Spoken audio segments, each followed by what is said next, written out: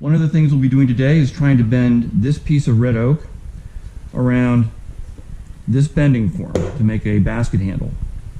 This is about um, 3 eighths of an inch wide, half an inch wide, half inch thick, inch and a quarter wide, and it does have some pretty serious run out as you can see. So we'll see if we can bend this without having it blow out on the sides. This was from a piece of plain sawed red oak from a sawmill. It may or may not work. We'll find out. Okay, here we go. Step one, our basket band.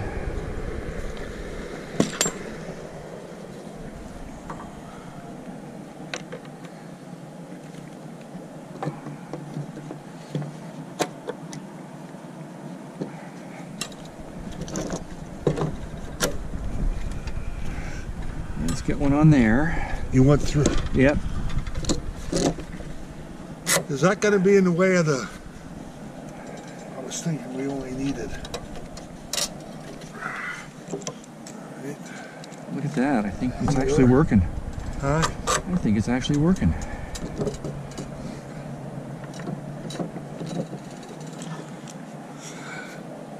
No, this. Okay. Oop, you missed it.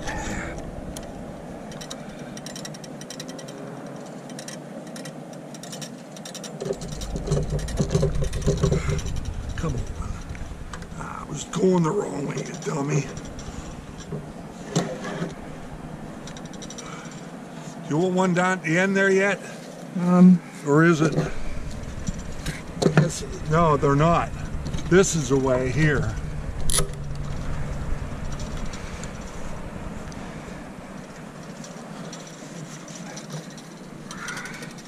I guess we can take the one away from the center.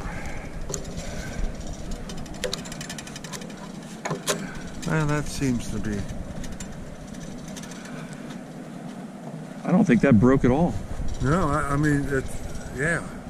And it was still very flexible yet here when the. Yeah. Okay.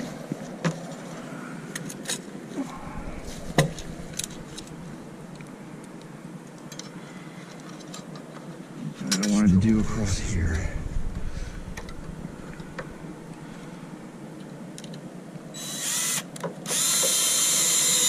Not a stupidity. What are these smaller holes for? Or just. That was for uh, whatever this 2x4 was used before, before I Oh. cut it into strips.